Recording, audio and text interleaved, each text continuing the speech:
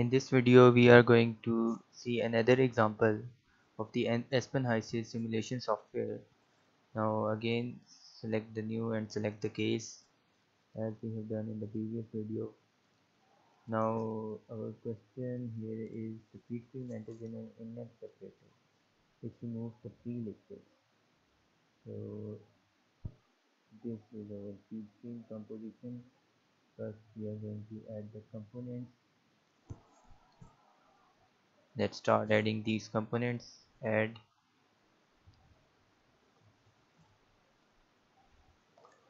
And here it is. Mm, the first component is nitrogen. N2 here it is nitrogen add. And the second one is H2S hydrogen sulfide add and the third one is carbon dioxide CO2 here it is. Add and methane.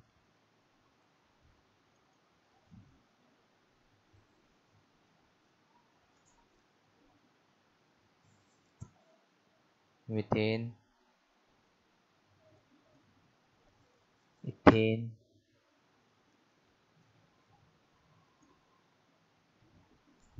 uh, propane.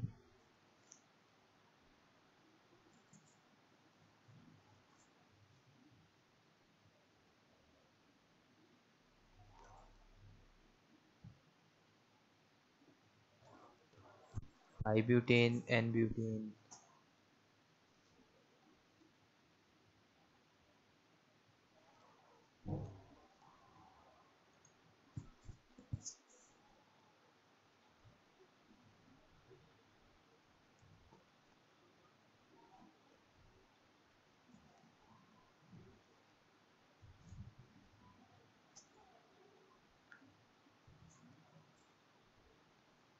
i-pentane n-pentane.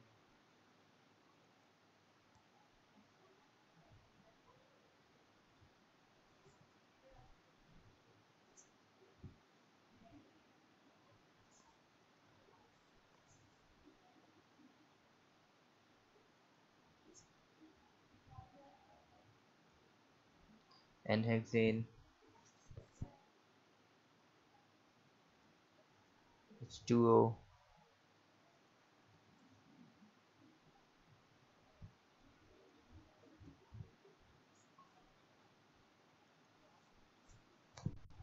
and at the end we have a hypothetical component. So these are components are added.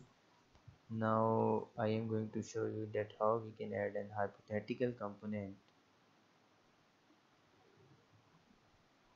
This one. So now let's just start. To add the hypothetical component you have to convert is uh, this select the hypothetical option and select sheet and edit hypos and select new hypo group and select new hypo and here it is. The, the temperature we were given here uh, is 110 degrees in normal boiling point. Okay. So and select uh, you can also change the name of the hypothetical component uh, just uh, select this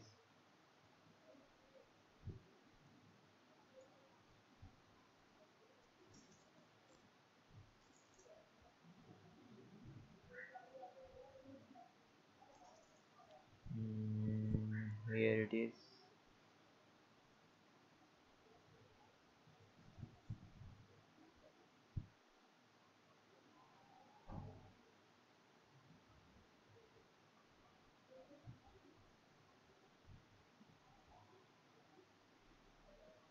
here it is. Now we can simply give the name c7 to our hypothetical component. And estimate unknown properties. Here it automatically estimated all the properties. Just escape and select add. Now these are all our components. Now just select the fluid package. The fluid package we are given here is Peng Robinson Peng Robinson fluid package. Select the Peng Robinson from the method assistant or you can just simply go and select the fluid package Peng Robinson okay we are okay to go forward move forward. Let's see the simulations. First we have to add the material stream. Material stream 1 and let's put the composition one by one this is the composition we are going to put.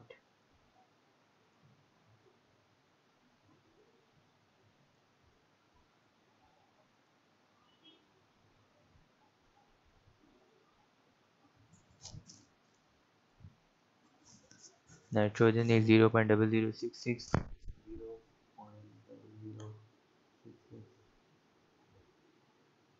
0 0.0003 enter and CO2 is 0 0.0003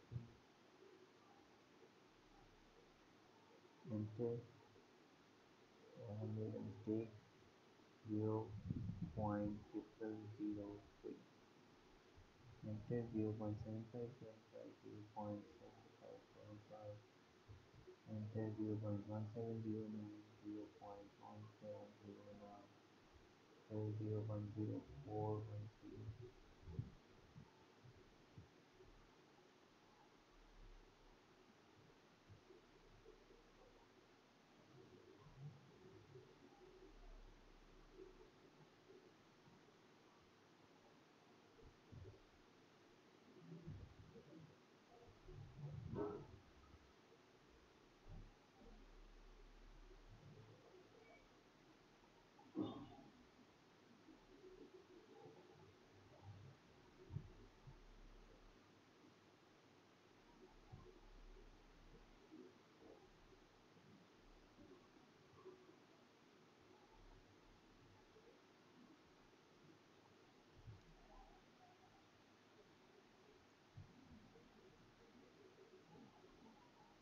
so we have a total 1 and in the fractions we have these and total here is one mole so click on the ok button and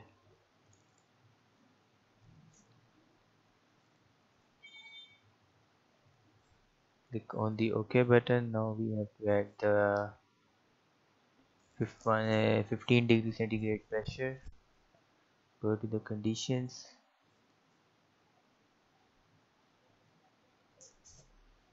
and put down the temperature 1 5 degree centigrade 6200 kilopascal. And 1440 kg moles per hour.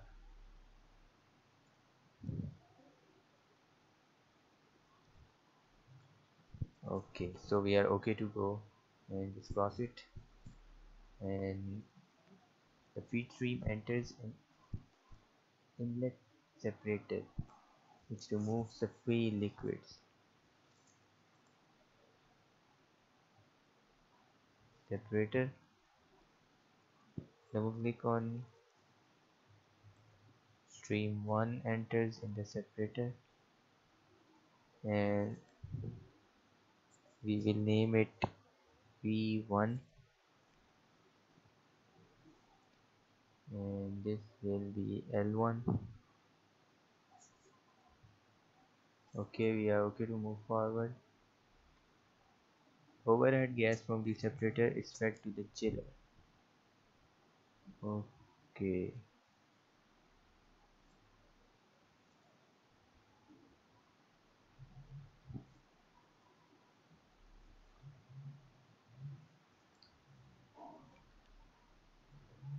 overhead gas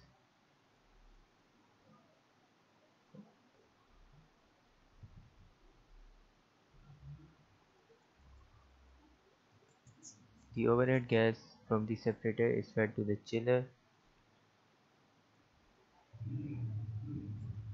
where it is cooled to minus 20 degrees centigrade which will be modeled simply as the cooler and the pressure drop is 35 kilopascal. Double click on it and the stream entering is V1 energy stream is E1 and the outlet stream is 2 now we have unknown delta p. Go to the parameters and the delta p we are given here is 35 kilopascal. 35 kilopascal and in the worksheet we are going to give the stream to the temperature of minus 20 degrees centigrade.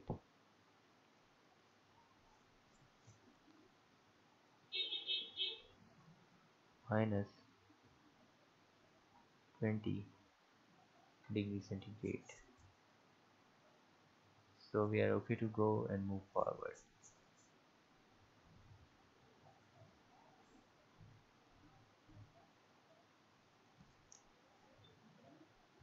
Okay cross it.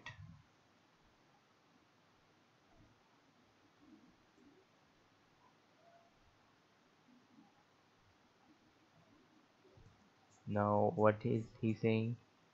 The cold stream is then separated in a low pressure low temperature separator. Now we need another separator. The stream coming is 2 vapor outlet is V2 and the liquid outlet is L2 okay we are okay to go but there are something which we have to overhead gas from the LTS is fed to the heater with a pressure drop of 5 kilopascal. Let's cross it.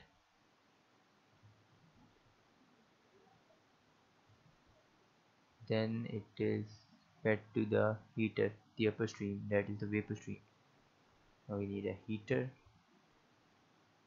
Double click on it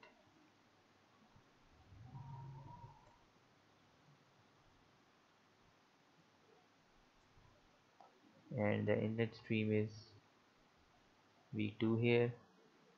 Energy stream is E2 and the outlet stream is stream 3 and he's saying unknown delta P that is 5 kilopascal. Parameters and select the 5 kilopascal. Where it is heated to 10 degrees centigrade to meet sales gas specification.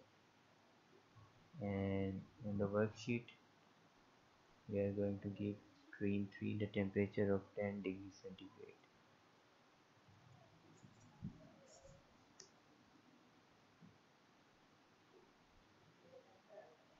And he's saying that we are okay to go. Okay so thing we were finding out was to calculate the duty rejected from the chiller. And the duty absorbed inside the heater.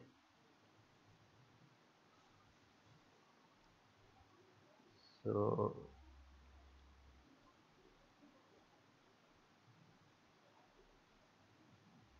here you can see that the duty 4.195 into 10 raised to power 6 kilojoules per hour.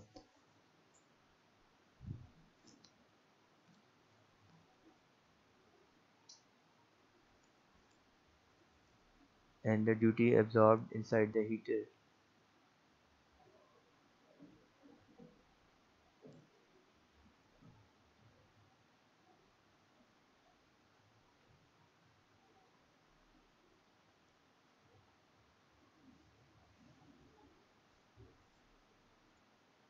We can also show them in the form of the tables.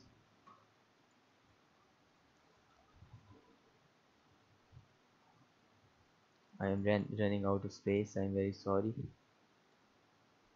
So this was the duty rejected. This was the du duty rejected from the chiller that is 4.19 into 10 raised to power 6 kilojoules per hour. And this is the duty absorbed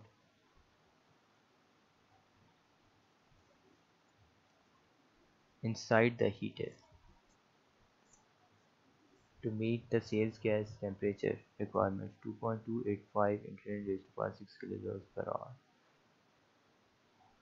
so we are going to do some study on this problem